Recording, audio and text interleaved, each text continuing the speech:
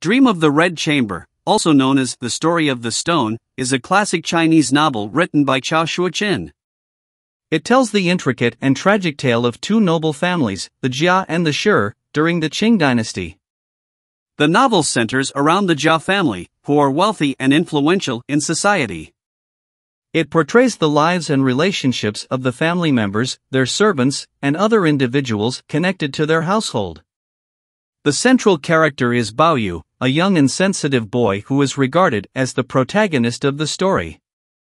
As the narrative unfolds, the novel delves into the complex web of relationships, family politics, and societal expectations within the Jia family.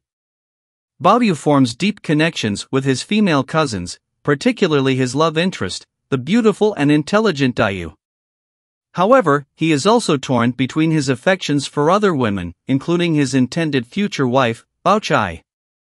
Throughout the novel, various themes are explored, including the decline of the noble class, the conflicts between traditional values and emerging societal changes, the role of women in society, and the fleeting nature of human existence. The novel incorporates poetry, symbolism, and vivid descriptions of nature to enhance its storytelling. As the story progresses, the once prosperous Jia family faces financial difficulties, scandals, and tragic losses.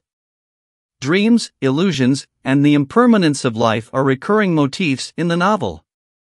The narrative concludes with a realization of the fleeting nature of human existence and the inevitability of mortality. Dream of the Red Chamber is celebrated for its complex characters, intricate plot, and profound exploration of human emotions and societal dynamics.